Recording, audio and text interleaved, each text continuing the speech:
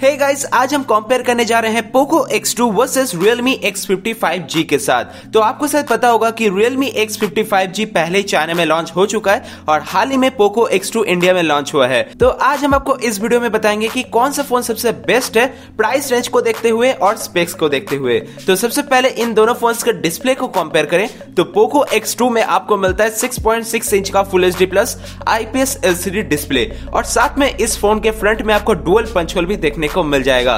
लेकिन इस फ़ोन का जो टारगेटेड मेन फीचर है, वो है इसका 120 ट्वेंटी का रिफ्रेश रेट जी हाँ इस प्राइस रेंज में आपको कोई भी ऐसा फ़ोन में देखने को नहीं मिलेगा। ये फीचर जो बहुत ही अच्छा और स्मूथ एक्सपीरियंस दे देता है अपने फ़ोन में। और साथ में इस फ़ोन में आपको गोरिल्ला ग्लास 5 का प्रोटेक्शन मिल जाएगा फ्रंट और बैक दोनों तरफ़। और Realme X55G के बारे में बात करें तो यहाँ पर आपको 6.5 इंच का full H plus IPS LCD display मिल जाएगा। और इस फ़ोन में भी आपको सेम वही फ्रंट में डुअल पंचोल देखने को मिल जाएगा। लेकिन जो मेन डिफरेंस है, वो है पोको X2 में आपको राइट साइड में डुअल पंचोल देखने को मिलता है और Realme X55G में आपको लेफ़्ट साइड में डुअल पंचोल देखने को मिलेगा। जस्ट यही दोनों का डिफरेंस है और थोड़ा सा स्क्रीन साइज़ में आपको डिफरेंस मिल जाएगा। और इस फ़ोन में भी आपको 120 हर्ट्ज का रिफ्रेश रेट देखने को मिल जाएगा।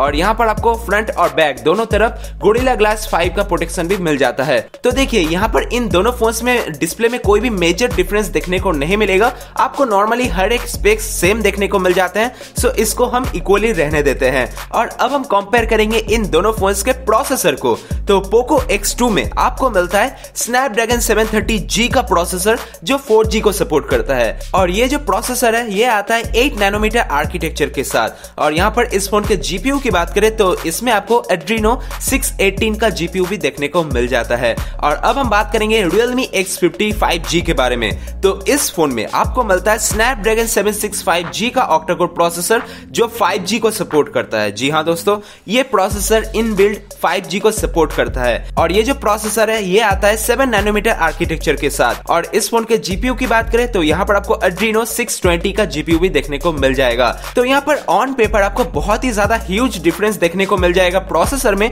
क्योंकि रियलमी Realme X55G को इनबिल्ड सपोर्ट करता है। साथ में बहुत ही ज़्यादा पावरफुल प्रोसेसर है। अगर आप स्नैपड्रैगन 730G के साथ कंपेयर करते हैं तो। सो so, आप इसे बैटरी एफिशिएंट प्रोसेसर भी बोल सकते हैं। और इस फ़ोन का जो ग्राफिकल परफॉर्मेंस है बहुत ही अच्छा मिल जाएगा in compare to Snapdragon 730G so यहाँ पर Realme X55G प्रोसेसर के लिए नो डाउट जीत जाता है। और अब हम बात करेंगे इन दोनों फोन्स के रैम और स्टोरेज के बारे में। तो पोको X2 का जो बेस वेरियंट है ये आपको देखने को मिलता है सिक्स जीबी रैम और sixty four GB internal storage के साथ। और इसमें आपको UFS 2.1 का सपोर्ट भी देखने को मिल जाता है। और यहाँ Realme X55G के बारे में बात करें तो इसमें बेस वेरिएंट आपको मिलता है एट जीबी रैम और one twenty eight GB internal storage के साथ। और इसमें भी आपको UFS 2.1 का सपोर्ट देखने को मिल जाएगा। सो यहाँ पर बेसिकली देखा जाए तो ऑन पेपर आपको पता चल रहा होगा कि जो बेस वेरिएंट का टक्कर है, वो Realme X55G जीत जाता है।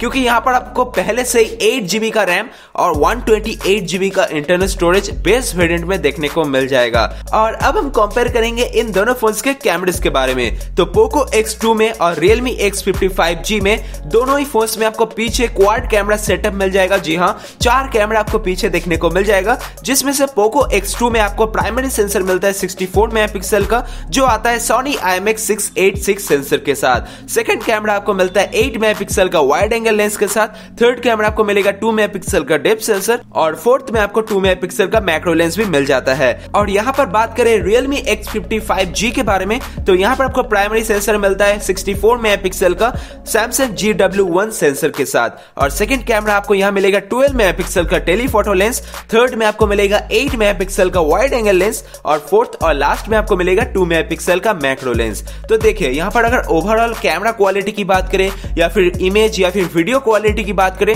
तो आपको पता होगा कि 64 मेगापिक्सल का जो Sony IMX 686 सेंसर है पोको X2 में, ये बहुत ही बढ़िया आपको क्वालिटी दे देता है। मतलब अगर वीडियो क्वालिटी की बात करें, या फिर शार्पनेस आपको पोको एक्स टू में बहुत ही बढ़िया मिल जाएगा। और बाकी जितने भी स्पेक्स है, आप अपने अनुसार चूज़ कर सकते हैं कि आपको टेलीफोटो लेंस चाहिए या फिर डेप्थ सेंसर चाहिए, ये आपके ऊपर डिपेंड करता है। लेकिन अगर आप मेरा ओपिनियन चाहते हैं तो मेरे हिसाब से पोको X2 में आपको बेटर क्वालिटी मिल जाएगा कैमराज में। और इन दोनों फ़ोन के फ्रंट कैमरे की बात करें तो पोको X2 और Realme X55G इन दोनों ही फ़ोन में आपको फ्रंट में डुअल फ्रंट सेल्फी कैमरा मिल जाएगा। तो यहाँ पर पोको X2 में आपको मिलता है 20 मेगापिक्सल का प्राइमरी लेंस सेकंड कैमरा को मिलेगा 2 मेगापिक्सल का डेप सेंसर और यहाँ पर Realme X55G में आपको मिलता है 16 मेगापिक्सल का प्राइमरी लेंस और सेकंड में आपको मिलेगा 8 मेगापिक्सल का वाइड एंगल लेंस सो यहाँ पर भी फिर से आपके ऊपर डिपेंड कर रहा है कि आपको वाइड एंगल लेंस अच्छा लगता है या फिर डेप्थ सेंसर अच्छा लगता है। और अब हम कंपेयर करेंगे इन दोनों फोन्स के बैटरीज को। तो पोको X2 में आपको मिलता है 4500 mAh का बैटरी साथ में 27 वाट का फास्ट चार्जिंग का सपोर्ट भी मिलेगा। और यहाँ पर रियलमी Realme X55G में आपको मिलता है।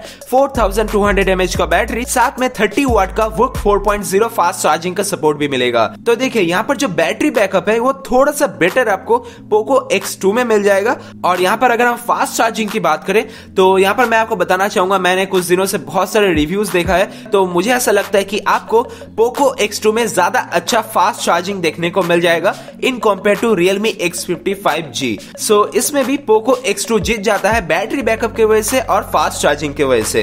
तो अब हम बात करेंगे इन दोनों फोन्स के प्राइसिंग तो यहाँ पर पोको X2 जैसे आपको पता होगा, इसका जो बेस्ट वेरिएंट है सिक्स जीबी रैम और sixty four GB internal storage वाला, ये पहले ही इंडिया में लॉन्च हो चुका है और इसका प्राइस आपको इंडिया में fifteen thousand nine hundred ninety nine rupees में मिल जाता है। यानी कि सिक्सटीन थाउज़ेंड रुपीज़ में आपको ये फ़ोन देखने को मिल जाएगा। और यहाँ पर बात करें रियलमी Realme X55G के बारे में तो हम जब ये वीडियो बना रहे हैं, इस वक्त तो ये फ़ोन इंडिया में लॉन्च नहीं किया है, लेकिन हम एक अप्रोक्स वैल्यू बोल सकते हैं कि ये शायद किस प्राइस रेंज में लॉन्च हो सकता है। तो जैसे आपको पता होगा, इसका जो बेस्ट वेरियंट है एट जीबी रैम और one twenty eight GB internal storage वाला, ये आपको चाइना में देखने को मिलता है ट्वेंटी फाइव थाउज़ेंड रुपीज़ के आसपास। जी हाँ पच्चीस हज़ार रुपए के आसपास आपको चाइना में ये फ़ोन देखने को मिल जाता है। तो हमें ऐसा लगता है कि ये इंडिया में आते आते ट्वेंटी सिक्स थाउज़ेंड के अराउंड देखने को मिल सकता है। जी हाँ ट्वेंटी सिक्स या फिर ट्वेंटी सेवन थाउज़ेंड के आसपास ये इंडिया में आपको देखने को मिल जाएगा।